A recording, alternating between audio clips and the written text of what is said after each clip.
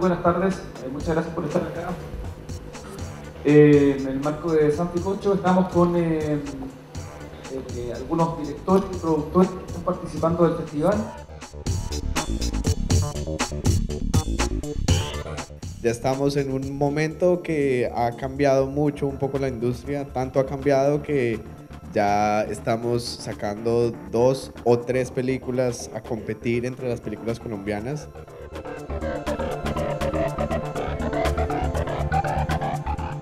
Costa Rica es un país, eh, eh, empezamos a producir eh, a partir de hace unos 2, 3 años, eh, empezó realmente la posibilidad de empezarse a hacer películas que se, que se debieran en el cine, ¿no? porque antes se habían hecho otras experiencias, pero no habían llegado a esas.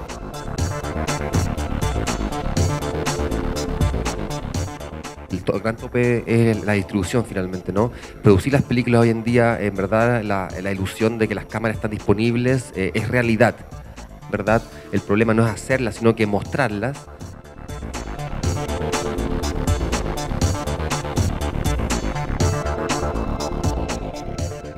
Sí, es como somos rebeldes en lo que pensamos, en lo que hacemos, cómo lo filmamos y luego queremos estar con Batman ahí mismo.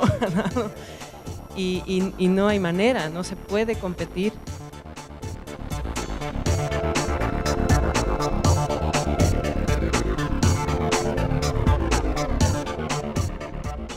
Creo que aprendimos cómo producir, incluso estamos haciendo películas cada vez mejores.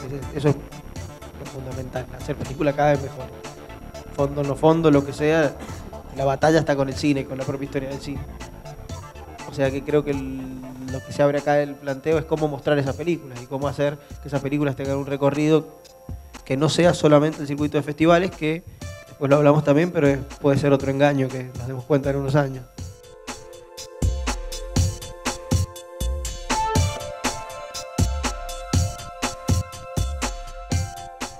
Yo creo que eh, es muy importante en algún momento eh, nos organicemos y se establezcan redes de distribución dentro de Latinoamérica. O sea, que nosotros mismos podamos hacer circular las películas, eh, tener más audiencia. Eh, somos, somos distintos, pero somos lo suficientemente similares como para que eso funcione.